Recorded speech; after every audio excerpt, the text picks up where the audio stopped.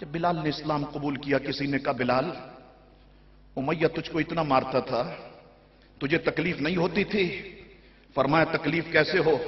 وہ کوڑا مارتا تھا، ادھر آمنا کے لال کا دیدار مجھے نصیب ہوتا تھا۔ یہ منظر بھی۔